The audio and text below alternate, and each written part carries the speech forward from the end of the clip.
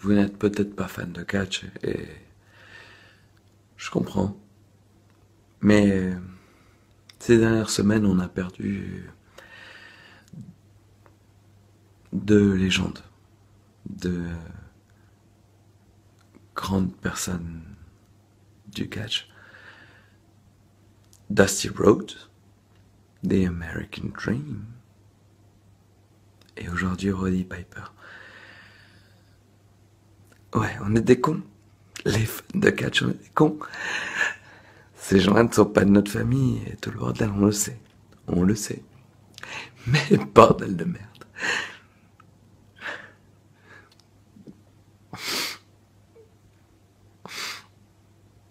Dusty et Roddy.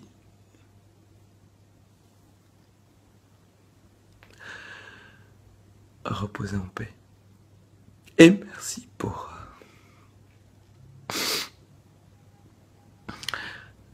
Merci pour, pour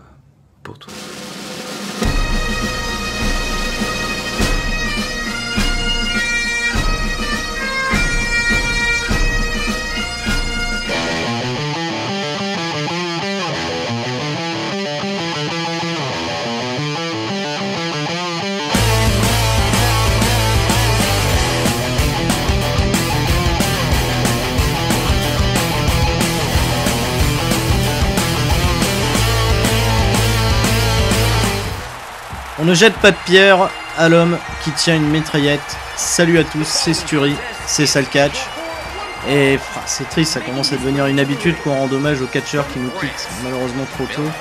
Ces héros qui ont bercé notre enfance et bah, comme vous l'avez compris, on rend hommage aujourd'hui à celui qui nous a quittés ce 31 juillet 2015, Roddy Wody Piper. Et oui, bah, j'ai le cœur plein d'émotions forcément et salue également la, vidéo que je vous ai relinké en début d'épisode de Christophe Ajus. Roddy Piper, c'est un héros de notre enfance, clairement. Euh, ça a été quelqu'un qui aura marqué donc du coup les générations, euh, les générations de catch, qui aura inspiré des tonnes et des tonnes de heal aujourd'hui et également de face. voilà, on ne peut pas ne pas citer par exemple CM Punk forcément qui s'est intéressé au catch le jour où il a vu Piper éclater une noix coco sur, euh, sur la tête de Jimmy Snuka. Euh, mais également dans l'attitude, hein, on le voit très bien, par exemple, un gars comme Jericho était forcément inspiré de Roddy Piper, euh, que ce soit dans son, dans son highlight reel, qui était une parfaite copie, il tenait un parfait rôle de host, la manière de ce que faisait Piper avec le Piper Spit.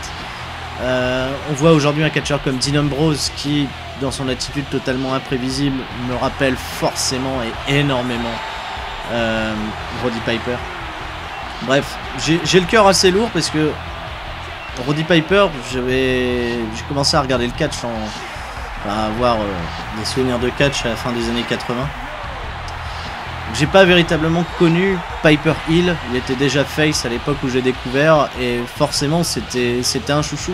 C'était pas le, le catcheur le plus doué techniquement dans le ring mais, qui était capable de raconter des histoires, de, de, faire ressentir des émotions incroyables.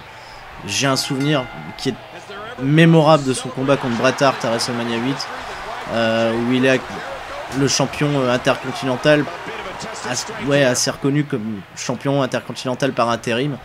Et ce match contre Bret Hart est, un putain de, de chef-d'œuvre, parce que c'est même la première fois, je me souviens, que je voyais saigner des catcheurs dans un ring, et je me suis toujours posé la question, mais attention, est-ce que c'est vrai, est-ce que c'est faux?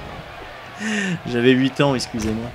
Euh, mais bon, ouais, voilà, Roddy Piper, en tout cas, aura marqué toute une génération de catcheurs, comme je dis, aura été le premier grand vilain avoir euh, à avoir sévi à la WWE. C'était le, premier grand némésis de Hulk Hogan.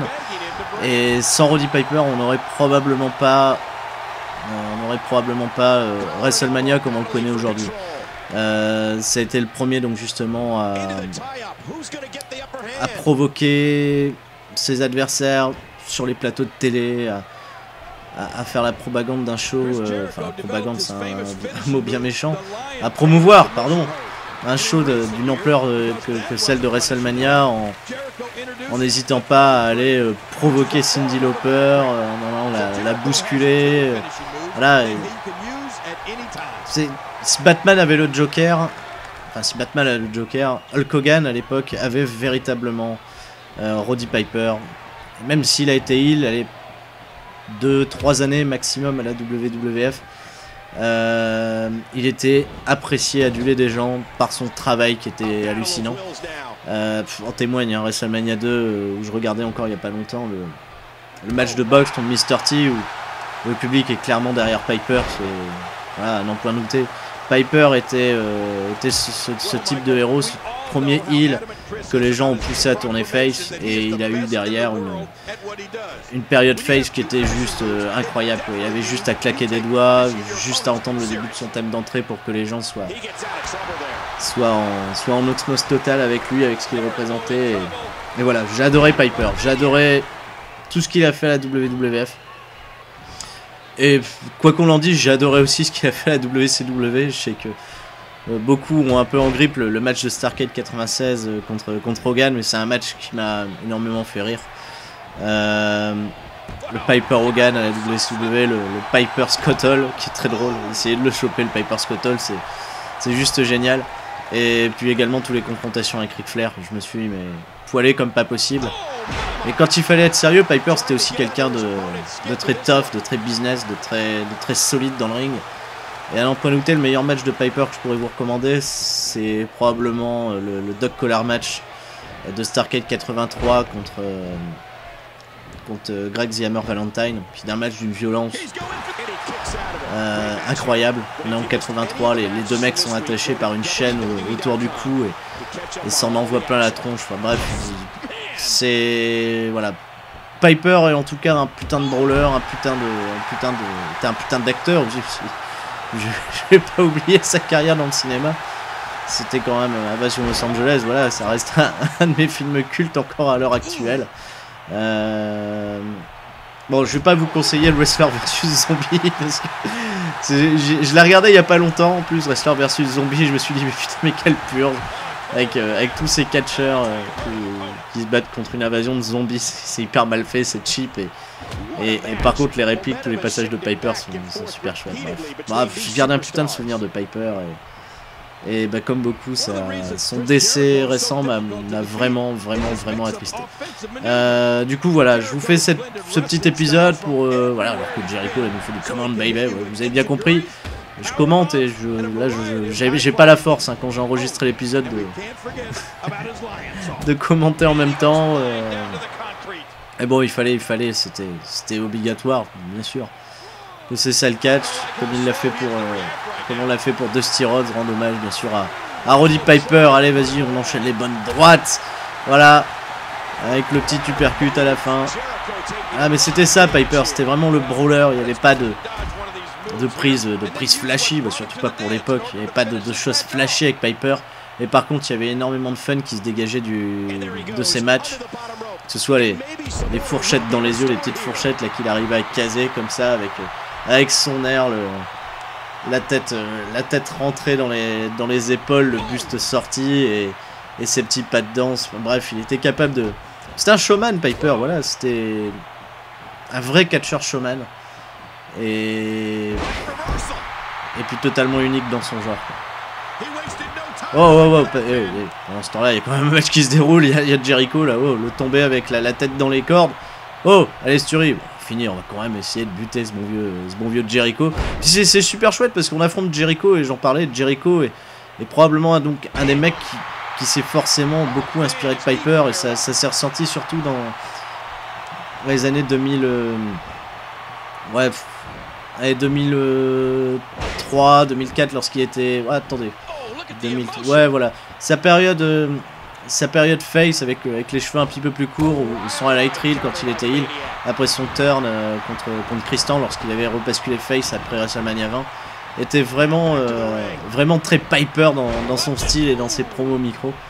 Donc voilà, ça me fait plaisir du coup d'affronter Jericho, c'est un pur hasard, parce qu'on est dans le mode ma carrière, c'est un pur hasard et, et je trouve que, justice, euh, justice est rendue. Allez, le bon vieux Pal Driver Allez, on va, on va en terminer. On a encore un finish chargé. C'est pas évident, hein. c'est vraiment pas évident du tout, mais cet hommage à Piper était, important. Allez, les bonnes vieilles droites, et on va terminer avec ce bon vieil uppercut voilà, dans ta face. Cette bonne vieille gauche, et le compte de 3 pour en terminer. D'abord je fais des gauches et après je fais des droites. Bon, je suis totalement à la masse. Vous allez encore vous moquer de moi dans les commentaires. Allez, c'est des gauches et après c'est une droite. Bah voilà, mais Sturie, enfin. Ah, mais je suis. On voit encore la tête de Jericho dans les cornes, non mais vraiment. Ouais, puis ce qui aura marqué aussi beaucoup de monde avec Piper, c'est forcément la feud avec, euh, avec Jimmy Snuka. Avec ce Piper Spit où il lui a éclaté une noix de coco au visage. Euh, puis même tout le segment, je vous conseille de le revoir parce que moi, après c'est peut-être ma génération, mais je trouve ça super drôle, je trouve que ça vieillit pas. Euh, ce segment mais ultra raciste de Piper où il se moque de Snuka et lui offre des bananes. Il lui offre un ananas en disant voilà regarde ça, ressemble un petit peu aux, femmes de ton pays avec, avec, les longs cheveux et, le gros corps, bref. C'est Piper, je pense pas que ça soit quelqu'un de profondément raciste, en même temps c'est le débat en ce moment avec, avec Hulk Hogan. surtout, euh, surtout quand on voit ce qu'il a fait par la suite. Et voilà, comme je l'ai arboré là dans, pour mon prochain combat, le face paint de, Piper. C'est à WrestleMania 6 quand il affronte euh, Banius Brown, où il est peinturluré d'un côté de noir et de blanc et qui livre cette promo incroyable. Euh, un showman, je vous l'ai dit, c'était vraiment quelqu'un de particulier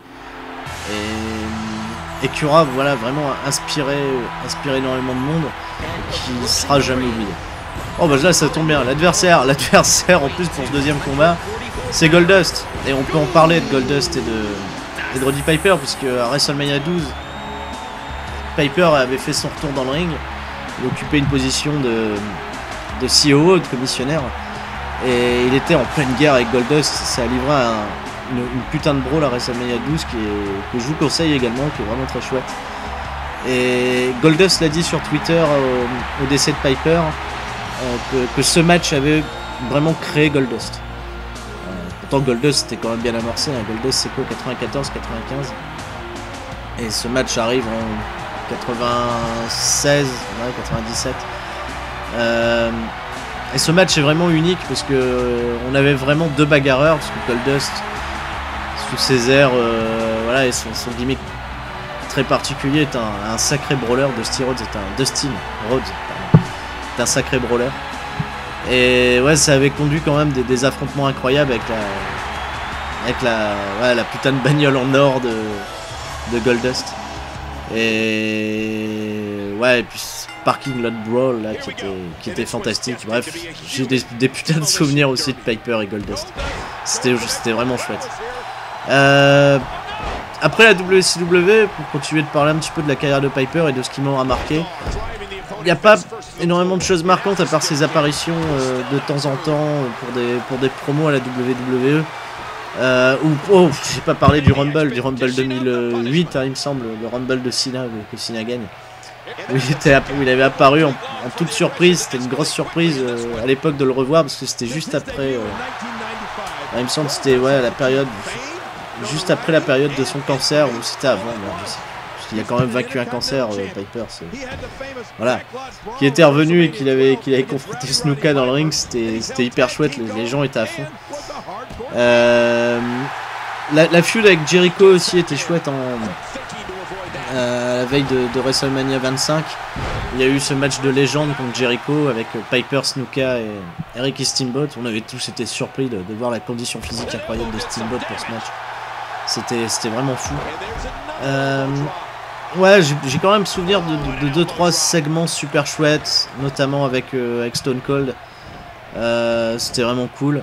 Après, il y a des trucs totalement oubliables lorsqu'il a voulu euh, essayer de disser au, au, meilleur niveau un mec comme Shanaware. On est beaucoup à adorer Shanaware, c'est vraiment un catcheur de derrière les fagots, mais la WWE a beaucoup de projets pour Shanaware parce qu'il avait vraiment une gueule atypique. Il avait un super physique, il avait un putain de, charisme, une aura naturelle. Il lui avait mis Piper avec lui, c'était plutôt chouette. Et, ce gars-là, OR, on avait juste rien à foutre du catch. Quoi. Et bon, paix à son âme, hein, euh, qui nous a quitté également, donc euh, voilà, je vais pas. C'est pas, pas un super moment de, Piper. Enfin bon, bref, Piper. hein, il y a- des hauts, des bas, il y a des trucs assez embarrassants quand même hein, dans la carrière de Piper. Il n'y a, pas non plus des trucs super chouettes. Mais ouais, la plupart du temps, puis c'est un mec qui restera respect de tous ses, qui aura le respect de tous ses pairs, donc euh,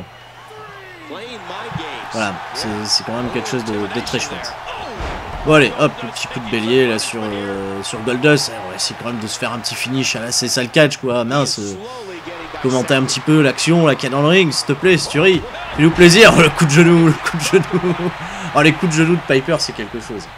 Les coups de genou de Piper avec le mec qui vole euh, dans tous les sens. Et attention, la sleeper roll. Et celle-là, celle-là, elle est mythique, la sleeper roll de Piper. Et oh, le bras, oh, le bras de Goldust qui est parti totalement en couille sur son abandon. oh, bah, c'était bien fandard. Bon, eh ben, on va arrêter là. On va arrêter là parce que je vais pas avoir le, le courage de parler plus de Piper, je suis désolé. Mais, mais voilà, en tout cas, merci à toi, euh, Roddy Piper, pour, euh, pour toutes ces belles choses que tu as amenées dans le business. Et bah, qui resteront, je pense, euh, à jamais dans nos cœurs. Roddy, Roddy Piper. Here is your winner, Philip. Bah, allez, sur ce, bah, je vais vous souhaiter à tous une super soirée. Je vous conseille le DVD euh, édité en 2005 par la WWE Bound to Controversy, qui est pour moi un DVD super complet sur Piper. Euh, J'avais découvert grâce à Norbert que je salue, qui était un gros fan de Piper. Et sur ce, bah, je vous dis à la prochaine. C'était Sturi. Ciao, bye bye.